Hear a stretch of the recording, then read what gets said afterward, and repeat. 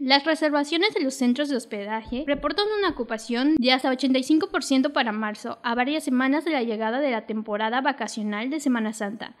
El presidente de la Asociación de Hoteles de Cancún, Puerto Morelos e Isla Mujeres, Jesús Almaguer Salazar, mencionó que para febrero se estima una ocupación promedio de 70 a 75%, y aunque no se han recuperado las tarifas en todos los centros de hospedaje, el panorama pinta bien para los próximos meses. Dijo que el principal mercado del Caribe mexicano, que es Estados Unidos, no ha podido viajar a Europa por las restricciones sanitarias, por lo que eligen lugares cercanos como Cancún.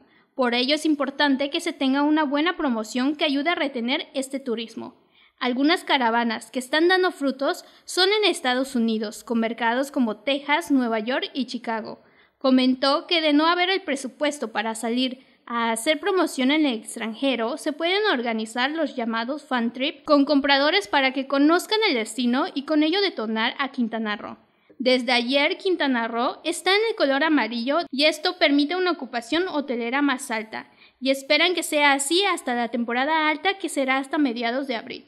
Al cierre de 2021, Quintana Roo registró la llegada de 12.5 millones de visitantes, de los cuales 7.5 millones fueron internacionales. Para Notivisión, Evelyn Cano.